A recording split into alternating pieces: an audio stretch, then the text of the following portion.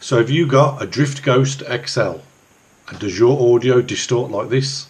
It's quite good actually, that is. Quite bright. Oh, yes. We've got some pictures of our bikes on the... Okay, are we on? Are we recording?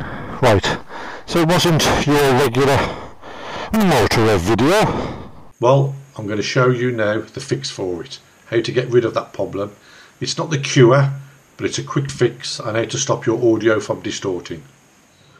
Right then, so this is what I found. So here's a Ghost XL installed. Let me just press record. Right, so that's recording. And this is how your voice is supposed to sound. So what I've found is if you power the camera on by holding this button and then this light turns green and then you press record, your audio sounds fine like this. The problem seems to be is if you have one touch record enabled or instant record. So in other words, when the phone's off and you just press this button and it instantly starts recording, when the camera's in instant record mode, like one touch, it seems to be distorting the audio, but it doesn't if the camera's switched on and then you press record. So it must be some kind of a firmware issue, and not all of the Ghost XLs do it.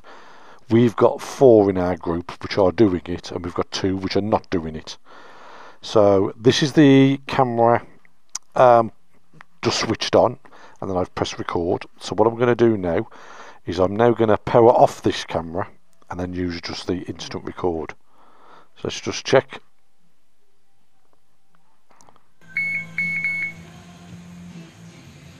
Right, so that's the camera now off. So I'm now going to press instant one touch instant record and we'll see if the audio is all distorted.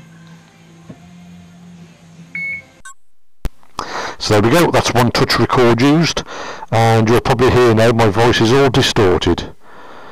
So I will do the same again, I'll turn off instant record.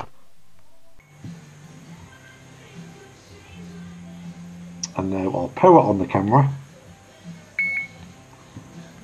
so you'll see the green light.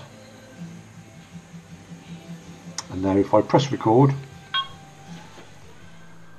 it's recording my voice fine. So it is definitely the instant record, the one touch record, what is causing the problem.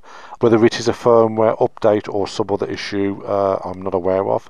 But for the time being, that's how you cure the audio problem on a Drift Ghost XL.